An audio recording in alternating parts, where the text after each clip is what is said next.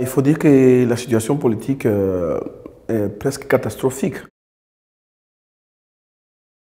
Nous avons une crainte euh, à regarder la situation politique et l'évolution des faits. On a peur qu'au lendemain de la publication des résultats, il y ait des contestations. Les contestations chez nous, ça ne finit pas au tribunal, ça finit d'abord, ça commence d'abord par la rue. Et nous connaissons notre police, nous connaissons notre armée. Dès que vous êtes dans la rue, ils vous canardent. Ils tirent sur les gens ou ils utilisent des gaz lacrymogènes. Bon, donc ce qui est sûr, c'est qu'au lendemain de la proclamation des résultats, il y aura des troubles. C'est très difficile, au fait, dans le contexte du Congo, de couvrir la campagne électorale.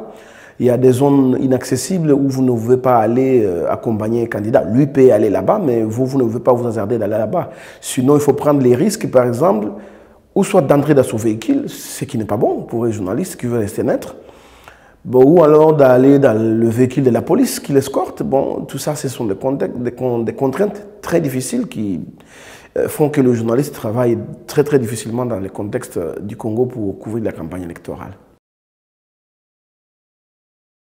Dans tout cela, les journalistes vont jouer un rôle, je sais bien qu'ils vont jouer un grand rôle parce que naturellement, ben, ils jouent le rôle euh, euh, de sensibiliser les populations à, la non-violence et euh, au civisme et à vivre comme des citoyens modèles. Mais bon, est-ce qu'ils seront écoutés ensuite? Parce que dans les pays, ce sont les politiciens qui mènent la barque et nous essayons de croire, d'avoir la foi que peut-être que ce virage que nous allons traverser, parce que c'est un virage, il faut le dire, pour une fois on aura des élections, et on aura un président sortant euh, dans les normes, pas par coup d'État, pas parce qu'on a chassé un autre ou on en a tué un, non, parce qu'il y aura eu des élections. Bon.